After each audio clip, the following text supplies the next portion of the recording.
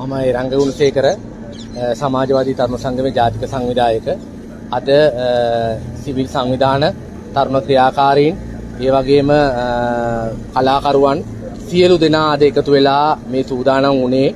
ඔබ දන්නවා මේ මොහොත වෙද්දිත් රනිල් රාජපක්ෂගේ අවසන් කාලේ යන්න පටන් අරන් තියෙනවා.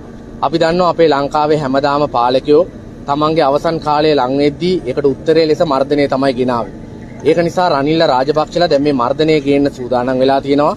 ඒකට එරෙහිව සටන් කරපු ඒකට මැදිහත් වුණු මේ මොහොත වෙදිත් ජීවිත දෙකක් අපේ රටේ අවසන් වෙලා තියෙනවා. ඉතින් ඒක නිසා අද අපි මේ නිදහස් චතුරස්‍රයට ආවේ නිදහසේ අපිට තියෙන අයිතිය භාෂණය සහ ප්‍රකාශනයේ තියෙන අයිතිය අපිට විරෝධය දක්වන්න තියෙන අයිතිය තමයි අද අපි මේ ස්ථානට ආවේ. හැබැයි ඔබ දන්නවා මේ ස්ථානට ඉති අපිටත් වඩා වැඩි සෙනගක් මේ පාරවල් හතර වටින් පොලිසිය ගෙනහල්ලා කඳුළු ගෑස් ගහන දේවල් ගෙනල්ලා පොලිස් වටයන් ගෙනල්ලා මේක හතර වටෙන් වට කරලා තියෙනවා. ඒ විතරක් නෙමෙයි මේක නිදහස් චතුරස්‍රය. මේ නිදහස් චතුරස්‍රය ඇතුලේ අපි මේකට නිදහසේ අපි අපේ විරෝධය පළ කරන්න සූදානම් වෙද්දී ඒකටත් වාරණ නියෝග අරගෙන ඒකත් මේ රනිල් රාජපක්ෂ සෙල්ලම් දාන්න පටන් අරගෙන තියෙනවා.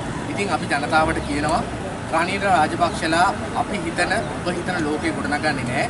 ඔවුන්ගේ ලෝකය තමයි දැන් මේ විනාශ වෙමින් යන්නේ. ඒක නිසා තමයි ඔවුන් මර්ධනය ගෙනලා තියෙන්නේ.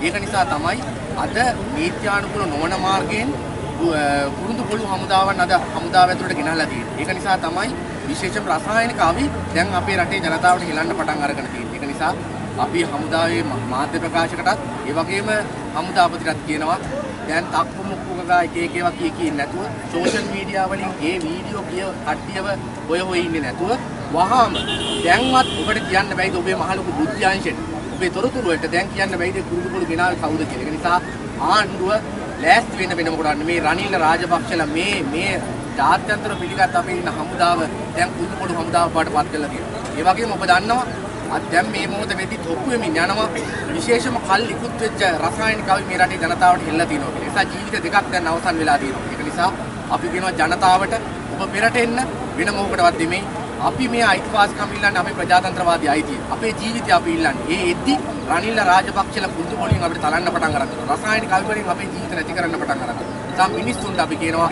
පෙරට එයි මැරෙන්න වෙන ක්‍රියාවලියක් නැහැ.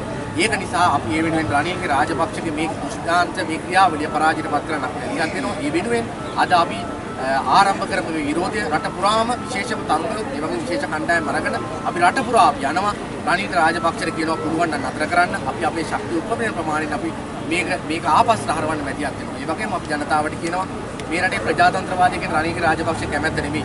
විවස්ථාව කියන රනිල් රාජපක්ෂ කැමැත්ත නෙමෙයි. නීති රීති කියන රනිල් රාජපක්ෂ කැමැත්ත නෙමෙයි.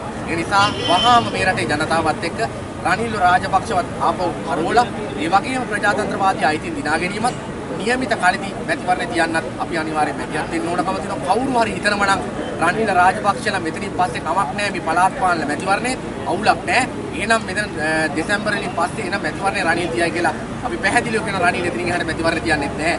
මොකද රනිල් මේ මැතිවරණේ අපුලා තියෙන සල්ලි නැති හින්දා නෙමෙයි ඡන්දේ නැති හින්දා තව මාස ගාණක් ගියාට පස්සේ ඒත් රනිල්ට ඡන්දේ නැහැ. සා පාලකයන් ඡන්දේ අපුලනවා මෙතනින් එහාට යන ඒකාධිපති ක්‍රියාවලියක්. ඒ නිසා මුළු රටම තලා පෙලාගෙන යන ක්‍රියාවලියට ඉඩ නොතිය අපි හැමෝම තරුණ විදිහට පෙරට ඇවිල්ලා මේ රනිල් රාජපක්ෂලව දේශපාලනිකව තලා පෙලා ඉවස කරලා නව දේශපාලන සංස්කෘතියක් උඩ ලබන කියන කාරණා.